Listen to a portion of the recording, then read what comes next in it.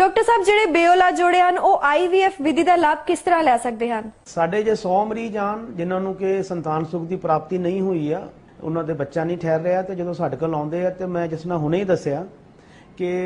60 ਤੋਂ 70% ਮਰੀਜ਼ਾਂ ਦਾ ਇਲਾਜ ਸਧਾਰਨ ਵਿਧੀ ਆਈਯੂਆਈ ਨਾਲ ਹੋ ਜਾਂਦਾ ਹੈ। ਲੇਕਿਨ 30 ਤੋਂ 40% ਇਦਾਂ ਦੇ ਮਰੀਜ਼ ਆ, ਜਿੱਥੇ ਕਿ ਟਿਊਬਾਂ ਬੰਦ ਆ। ਆਈਵੀਐਫ ਦੇ ਉੱਤੇ ਅਸੀਂ ਉਹ ਪੇਸ਼ੈਂਟਸ ਨੂੰ ਲੈ ਕੇ ਜਾਈਦਾ ਹੈ, ਜਿੱਥੇ ਕਿ ਟਿਊਬਾਂ ਬੰਦ ਆ। ਅੰਡੇ ਨਹੀਂ ਬਣ ਰਹੇ, ਸ਼ੁਕਰਾਣੂ ਦੀ ਮਾਤਰਾ ਘੱਟ ਆ ਪੋਲੀਸਿਸਟਿਕ ਓਵਰੀਜ਼ ਆ, ਜਾਂ ਉਹ ਮਰੀਜ਼ ਜਿੱਥੇ ਕਿ 5-6 ਵਾਰੀ ਆਈਯੂਏ ਵਿਧੀ ਰਾਈ ਟਰਾਈ ਕੀਤਾ, ਬੱਚਾ ਨਹੀਂ ਠਹਿਰਿਆ, ਉਹਨਾਂ ਨੂੰ ਅਸੀਂ ਆਈਵੀਐਫ ਵਿਧੀ ਤੇ ਲੈ ਕੇ ਜਾਈਦਾ। ਆਈਵੀਐਫ ਜਿਹੜਾ ਹੈ ਟੈਸਟ ਟਿਊਬ ਬੇਬੀ ਇਹਨੂੰ ਕਹੀਦਾ ਆ ਐਂਡ ਪਹਿਲੀ ਟੈਸਟ ਟਿਊਬ ਬੇਬੀ 1978 ਦੇ ਵਿੱਚ Louise Brown doctor Robert Edwards ਤੇ ਇਹਨਾਂ ਦੀ ਟੀਮ ਨੇ ਇੰਗਲੈਂਡ ਦੇ ਵਿੱਚ ਦਿੱਤੀ ਸੀ। ਐਂਡ uh, ਮੈਨੂੰ ਇਹ ਦੱਸਦਿਆਂ ਵੀ ਬੜੀ ਖੁਸ਼ੀ ਹੋ ਰਹੀ ਆ ਵੀ ਇਹ ਰੋਗ- ਰਾਬਰਟ ਐਡਵਰਡਸ ਨੂੰ ਜਿਨ੍ਹਾਂ ਨੇ ਕਿ ਪਹਿਲੀ ਟੈਸਟ ਟਿਊਬ ਬੇਬੀ 1978 ਚ ਦਿੱਤੀ ਸੀ। ਤੇ ਇਹਨਾਂ ਨੂੰ ਨੋਬਲ ਪ੍ਰਾਈਜ਼ ਪਿਛਲੇ ਸਾਲ 2010 ਦੇ ਵਿੱਚ ਮਿਲਿਆ ਆ ਤੇ ਮੈਨੂੰ ਸੁਭਾਗ ਪ੍ਰਾਪਤ ਹੋਇਆ ਇਹਨਾਂ ਦੇ ਨਾਲ ਕੰਮ ਕਰਨ ਦਾ ਵੀ। ਐਂਡ ਅਮਰੀਕਾ ਦੇ ਵਿੱਚ ਵੀ ਮੈਂ ਇਹਨਾਂ ਨੂੰ ਮਿਲਿਆ, ਕੈਨੇਡਾ ਦੇ ਵਿੱਚ ਵੀ ਮਿਲਿਆ। ਅਤੇ ਹੁਣ ਤੱਕ ਆਈਵੀਐਫ ਰਾਹੀਂ ਲੱਖਾਂ ਦੀ ਗਿਣਤੀ ਦੇ ਵਿੱਚ ਆਈਵੀਐਫ ਬੇਬੀਜ਼ ਪ੍ਰੋਡਿਊਸ ਹੋ ਚੁੱਕੀਆਂ ਪੂਰੇ ਦੁਨੀਆ ਦੇ ਵਿੱਚ। ਆਈਵੀਐਫ ਵਿਧੀ ਕਿੱਥੇ ਬਣਾਈ ਜਾਂਦੀ ਹੈ ਉਹ ਤੇ ਮੈਂ ਤੁਹਾਨੂੰ ਦੱਸ ਹੀ ਚੁੱਕਿਆ, ਇਹਦੇ ਵਿੱਚ ਕਰੀਦਾ ਕੀ ਆ ਕਿ ਪੇਸ਼ੈਂਟ ਨੂੰ ਕਾਫੀ ਜਿਹੜੇ ਡਰੱਗਸ ਹੈਗੇ, ਇੰਜੈਕਸ਼ਨਸ ਹੈਗੇ ਆ, ਫਰਟੀਲਿਟੀ ਹਾਰਮੋਨਸ ਆ, ਉਹਦੇ ਰਾਹੀਂ ਅੰਡੇ ਬਣਾਏ ਜਾਂਦੇ। ਅੰਡੇ ਬਣਾਉਣ ਤੋਂ ਬਾਅਦ 11ਵੇਂ 12ਵੇਂ ਦਿਨ ਉਹਨਾਂ ਦੇ ਜਿਹੜੇ ਅੰਡੇ ਅਲਟਰਾਸਾਊਂਡ ਤੇ ਚੈੱਕ ਕਰਕੇ ਤੇ ਆਈ ਆਈਵੀਐਫ ਥੀਏਟਰ ਦੇ ਵਿੱਚ ਲਿਜਾ ਕੇ ਇੱਕ ਇੱਕ ਕਰਕੇ ਇਹਨਾਂ ਅੰਡਿਆਂ ਨੂੰ ਬਾਹਰ ਕੱਢਿਆ ਜਾਂਦਾ ਹੈ। ਅਤੇ ਇਹਨਾਂ ਅੰਡਿਆਂ ਨੂੰ ਫਿਰ ਅਸੀਂ ਆਪਣੇ ਆਈਵੀਐਫ ਲੈਬ ਦੇ ਵਿੱਚ ਜਾ ਕੇ ਇਹਦੀ ਗ੍ਰੇਡਿੰਗ ਕਰਦੇ ਆ ਵੀ ਇਹ ਐਗਸ ਜਿਹੜੇ ਆ, ਇਹ ਪ੍ਰੋਪਰ ਐਗਸ ਆ ਗੁੱਡ ਐਗਸ ਆ ਬੈਡ ਆ। ਐਂਡ ਜਿਹੜੇ ਬੈਸਟ ਐਗਸ ਹੁੰਦੇ ਆ, ਉਹਨਾਂ ਨੂੰ ਅਸੀਂ ਆਪਣੇ ਸਾਡੇ ਜਿਹੜੇ ਐਮਬ੍ਰੀਓਲੋਜਿਸਟ ਆ ਲੈਬ ਦੇ ਵਿੱਚ, ਉਹ ਉਹਨਾਂ ਨੂੰ ਕੱਢ ਕੇ ਸਾਡੇ ਇਨਕਿਊਬੇਟਰਸ ਦੇ ਵਿੱਚ ਉਹਨਾਂ ਨੂੰ ਗਰੋ ਕਰਦੇ ਆ। ਅਤੇ ਨਾਲ ਹੀ ਉਸ ਪੇਸ਼ੈਂਟ ਦੇ ਜਿਹੜੇ ਹਸਬੰਡ ਆ, ਉਹਦੇ ਸਪਰਮਸ ਲੈ ਕੇ ਜਿਹੜੇ ਬੈਸਟ ਕੁਆਲਿਟੀ ਸਪਰਮਸ ਆ, ਉਹਨਾਂ ਨੂੰ ਵਾਸ਼ ਕਰਕੇ, ਉਹਨਾਂ ਨੂੰ ਹੋਰ ਐਕਟਿਵ ਕਰਕੇ ਉਹਨਾਂ ਸਪਰਮਸ ਨੂੰ ਇਹਨਾਂ ਐਗਸ ਦੇ ਕੋਲ ਛੱਡਿਆ ਜਾਂਦਾ ਹੈ ਇਹ ਐਗਸ ਜਦੋਂ ਸਪਰਮ ਦੇ ਨਾਲ ਫਰਟੀਲਾਈਜ਼ ਹੋ ਜਾਂਦੇ ਆ, ਤੇ ਇਹਨਾਂ ਨੂੰ ਫਰਟੀਲਾਈਜੇਸ਼ਨ ਤੋਂ ਬਾਅਦ 2 ਸੈੱਲ 4 ਸੈੱਲ ਜਾਂ 8 ਸੈੱਲ ਸਟੇਜ ਤੇ ਵਾਪਸ ਸਾਡੇ ਜਿਹੜੇ ਗਾਇਨੋਕੋਲੋਜਿਸਟ ਆ, ਉਹ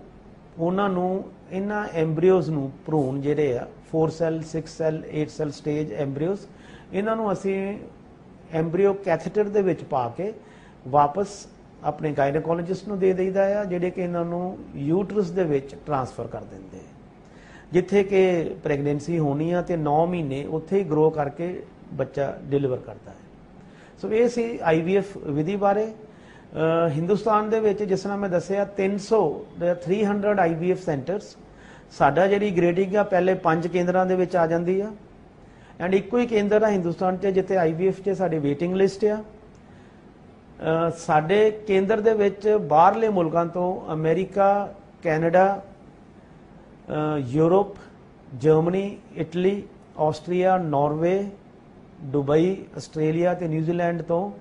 ਇੰਡੀਅਨਸ ਹੀ ਨਹੀਂ ਹਿੰਦੁਸਤਾਨੀ ਤੇ ਆਉਂਦੇ ਹੀ ਆ ਇਲਾਜ ਕਰਨ ਵਾਸਤੇ ਬਟ ਗੋਰੇ ਵੀ ਵਾਈਟ ਕਪਲਸ ਉਹ ਵੀ ਆ ਕੇ ਇੱਥੇ ਸੰਤਾਨ ਸੁਖ ਦੀ ਪ੍ਰਾਪਤੀ ਕਰਕੇ ਗਏ ਆ ਆਈਵੀਐਫ ਦਾ ਜਿਹੜਾ ਖਰਚਾ ਆ ਉਹ 50 ਤੋਂ 60 ਹਜ਼ਾਰ ਆ ਐਂਡ ਦਵਾਈਆਂ ਦੇ ਉੱਤੇ ਵੀ 40 50 ਹਜ਼ਾਰ ਖਰਚ ਆ ਜਾਂਦਾ ਆ ਐਂਡੋਸਕੋਪੀ ਦੇ ਉੱਤੇ 15 ਤੋਂ 20 ਹਜ਼ਾਰ ਖਰਚ ਆਂਦਾ ਆ ਸੋ ਇਹ ਜਿਹੜੇ ਇੰਟਰਨੈਸ਼ਨਲ ਸੈਂਟਰਸ ਆ ਬਾਹਰਲੇ ਮੁਲਕਾਂ 'ਚ, ਉੱਥੇ ਇਹ ਇੱਕ ਆਈਵੀਐਫ ਵਿਧੀ ਅਮਰੀਕਾ, ਕੈਨੇਡਾ 'ਚ 8 ਤੋਂ 15 ਕੁ ਲੱਖ ਖਰਚ ਆਂਦਾ ਲੇਕਿਨ ਸਾਡੇ ਇੱਥੇ ਉਹੀ ਜਿਹੜੇ ਇਲਾਜ ਉੱਥੇ 15 ਲੱਖ 'ਚ ਹੁੰਦਾ ਹੈ, ਸਾਡੇ ਇੱਥੇ ਲੱਖ, ਸਵਾ ਲੱਖ ਦੇ ਵਿੱਚ 1.5 ਲੱਖ 'ਚ ਉਹਨਾਂ ਦਾ ਇਲਾਜ ਹੋ ਜਾਂਦਾ ਹੈ। ਬਾਹਰਲੇ ਮੁਲਕਾਂ 'ਚੋਂ ਤੇ ਹਿੰਦੁਸਤਾਨ 'ਚੋਂ ਸਾਡੇ ਕੇਂਦਰ 'ਚ ਕਿਉਂ ਇੰਨੇ ਭਾਰੀ ਤਾਮਾਦ ਦੇ ਵਿੱਚ, ਗਿਣਤੀ ਦੇ ਵਿੱਚ ਆਈਵੀਐਫ ਕਰਵਾਉਣ ਪੇਸ਼ੈਂਟਸ ਆਉਂਦੇ ਆ, ਉਹਦਾ ਕਾਰਨ ਆ ਵੀ ਇੱਕ ਤੇ ਸਾਡਾ ਸਕਸੈਸ ਰੇਟ ਬੜਾ ਹਾਈ ਆ ਦੂਸਰਾ pregnancy rate is more than 40 to 50% ਉਹ ਮਰੀਜ਼ਾਂ ਦੇ ਵਿੱਚ ਜਿੱਥੇ ਕਿ ਉਹਨਾਂ ਦੇ ਆਪਣੇ ਅੰਡਿਆਂ ਦਾ ਇਸਤੇਮਾਲ ਹੁੰਦਾ ਹੈ ਉਹ ਮਰੀਜ਼ ਜਿੱਥੇ ਡੋਨਰ ਐਕਸ ਤੇ ਜਾਈਦਾ ਉੱਥੇ 50 ਤੋਂ 70% ਤੱਕ ਵੀ ਅਸੀਂ ਸਫਲਤਾ ਹਾਸਲ ਕਰ ਚੁੱਕੇ ਹਾਂ ਐਂਡ ਇੰਨਾ ਹਾਈ ਸਕਸੈਸ ਰੇਟ ਬਾਹਰਲੇ ਮੁਲਕਾਂ ਦੇ ਵਿੱਚ ਵੀ ਨਹੀਂ ਮਿਲਦਾ ਉਹ ਮਰੀਜ਼ ਜਿਨ੍ਹਾਂ ਨੂੰ ਡੋਨਰ ਐਕਸ ਦੀ ਲੋੜ ਪੈਂਦੀ ਆ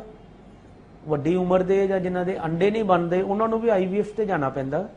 ਐਂਡ ਉਹ ਆਪਣੀ ਡੋਨਰਸ ਅਰੇਂਜ ਕਰਕੇ ਤੇ ਡੋਨਰ ਐਗਸ ਦੇ ਨਾਲ ਆਪਣੇ ਹਸਬੰਡ ਦੇ ਸਪਰਮਸ ਨੂੰ ਫਰਟੀਲਾਈਜ਼ ਕਰਵਾ ਕੇ ਸੰਤਾਨ ਸੁਖ ਦੀ ਪ੍ਰਾਪਤੀ ਕਰ ਲੈਂਦੇ।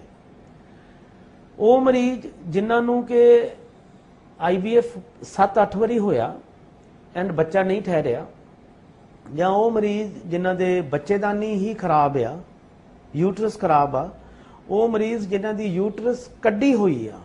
ਬੱਚੇ ਦਾ ਨਹੀਂ, ਐਬਸੈਂਟ ਆ, ਉਹਨਾਂ ਦੇ ਵਿੱਚ ਇੱਕ ਬਹੁਤ ਹੀ ਖੂਬਸੂਰਤ ਵਿਧੀ ਆ, ਸਰੋਗੇਸੀ ਪ੍ਰਾਈ ਕੁੱਖ ਇਹਨੂੰ ਕਹਿੰਦੇ ਆ। ਤੇ ਇਸ ਵਿਧੀ ਰਾਹੀਂ ਵੀ ਅਸੀਂ ਹਜ਼ਾਰਾਂ ਦੀ ਗਿਣਤੀ ਦੇ ਵਿੱਚ ਹਿੰਦੁਸਤਾਨ 'ਚ ਸਾਡੇ ਜਲੰਧਰ ਸ਼ਹਿਰ ਦੇ ਵਿੱਚ, ਸਾਡੇ ਕੇਂਦਰ ਦੇ ਵਿੱਚ ਵੀ ਸਰੋਗੇਸੀ ਪ੍ਰੋਗਰਾਮ ਦੇ ਨਾਲ ਬਹੁਤ ਜ਼ਿਆਦਾ ਤਾਦਾਦ ਦੇ ਵਿੱਚ ਲੋਕਾਂ ਨੇ ਸੰਤਾਨ ਸੁਖ ਦੀ ਪ੍ਰਾਪਤੀ ਕੀਤੀ ਹੈ। ਉਹ ਮਰੀਜ਼ ਜਿਨ੍ਹਾਂ ਦੇ ਵਿੱਚ ਕਿ ਸ਼ੁਕਰਾਣੂ ਦੀ ਮਾਤਰਾ ਬੜੀ ਘੱਟ ਆ, ਤੇ ਉਹ ਆਈਯੂਆਈ ਵਿਧੀ ਰਾਹੀਂ ਜਾਂ ਨੈਚੁਰਲ ਵੇ ਦੇ ਰਾਹੀਂ ਸੰਤਾਨ ਸੁਖ ਦੀ ਪ੍ਰਾਪਤੀ ਨਹੀਂ ਕਰ ਸਕਦੇ, ਉਹਨਾਂ ਨੂੰ ਵੀ ਅਸੀਂ ਟੈਸਟ ਟਿਊਬ ਬੇਬੀ ਆਈਵੀਐਫ ਵਿਧੀ ਰਾਹੀਂ ਸੰਤਾਨ ਸੁਖ ਦੀ ਪ੍ਰਾਪਤੀ ਕਰਵਾਈ ਦੀ ਹੈ। ਉਹ ਮਰੀਜ਼ ਜਿਨ੍ਹਾਂ ਦੇ ਕਿ ਟੈਸਟਿਸ ਦੇ ਵਿੱਚ ਸਪਰਮਸ ਨਹੀਂ ਮਿਲ ਰਹੇ, ਜਿਨ੍ਹਾਂ ਦੇ ਸੀਮਨ ਦੇ ਵਿੱਚ ਸਪਰਮਸ ਨਹੀਂ ਹੈਗੇ ਆ, ਉਹਨਾਂ ਨੂੰ ਅਸੀਂ ਏ ਜੂਸ ਪਰਮਿਕ ਮੇਲਸ ਸ਼ੁਕਰਾਣੂ ਦੀ ਮਾਤਰਾ ਹੀ ਨਿਲ ਆ ਉਹਨਾਂ ਨੂੰ ਅਸੀਂ ਉਹਨਾਂ ਦੇ ਟੈਸਟਿਸ 'ਚ ਨੀਡਲ ਪਾ ਕੇ ਸਪਰਮ ਕੱਢ ਲਈਦੇ ਆ। ਜੇ ਸਾਨੂੰ ਟੈਸਟਿਸ 'ਚੋਂ ਸਪਰਮਸ ਮਿਲ ਜਾਣ, ਤੇ ਫਿਰ ਟੀਜ਼ਾ ਵਿਧੀ ਰਾਹੀਂ ਟੈਸਟੀਕੂਲਰ ਸਪਰਮ ਐਸਪੀਰੇਸ਼ਨ ਇਸ ਵਿਧੀ ਰਾਹੀਂ ਅਸੀਂ ਟੈਸਟਿਸ 'ਚੋਂ ਸਪਰਮਸ ਹਸਬੰਡ ਦੇ ਕੱਢ ਕੇ, ਉਹਦੇ ਵਾਈਫ ਦੇ ਅੰਡਿਆਂ ਦੇ ਨਾਲ ਫਰਟੀਲਾਈਜ਼ ਕਰਕੇ ਆਈਵੀਐਫ ਵਿਧੀ ਰਾਹੀਂ ਅਸੀਂ ਉਹਨੂੰ ਸੰਤਾਨ ਸੁਖ ਦੀ ਪ੍ਰਾਪਤੀ ਕਰਵਾਈ ਦੀ। ਉਹ ਪੇਸ਼ੈਂਟਸ ਜਿਨ੍ਹਾਂ ਦੇ ਕਿ ਸ਼ੁਕਰਾਣੂ ਨੇ ਲਿਆ ਸਪਰਮ ਕਾਊਂਟ ਨੇ ਲਿਆ ਟੈਸਟਿਸ 'ਚ ਨੀਡਲ ਪਾ ਕੇ ਦੇਖਿਆ, ਉੱਥੇ ਵੀ ਸਪਰਮਸ ਨਹੀਂ ਮਿਲੇ। ਉਹਨਾਂ ਨੂੰ ਅਸੀਂ ਡੋਨਰ ਸਪਰਮ ਪ੍ਰੋਗਰਾਮ ਦੇ ਵਿੱਚ ਲੈ ਕੇ ਜਾਈਦਾ ਹੈ। ਡੋਨਰ ਸਪਰਮ ਪ੍ਰੋਗਰਾਮ ਦੇ ਵਿੱਚ ਸਾਨੂੰ ਬੈਂਕ ਤੋਂ ਬਾਹਰੋਂ ਸਪਰਮ ਡੋਨਰ ਸਪਰਮਸ ਦੀ ਲੋੜ ਪੈਂਦੀ ਆ। ਤੇ ਅਸੀਂ ਇਹ ਜ਼ਰੂਰ ਖਿਆਲ ਰੱਖੀਦਾ ਵੀ ਡੋਨਰ ਉਹੀ ਚੂਜ਼ ਕਰੀਏ ਜਿਹਦਾ skin colour hair colour eye colour ਤੇ ਬਲੱਡ ਗਰੁੱਪ ਰਿਸੀਪੀਐਂਟ ਜਿੰਨੇ ਕਿ ਸ਼ੁਕਰਾਣੂ ਸਪਰਮਸ ਦਾਨ ਲੈਣੇ ਆ, ਉਹਦੇ ਨਾਲ ਮੈਚ ਕਰ ਜਾਵੇ। ਦਰਸ਼ਕੋ, ਹੁਣ ਮੈਨੂੰ ਦਿਓ ਇਜਾਜ਼ਤ, ਧੰਨਵਾਦ।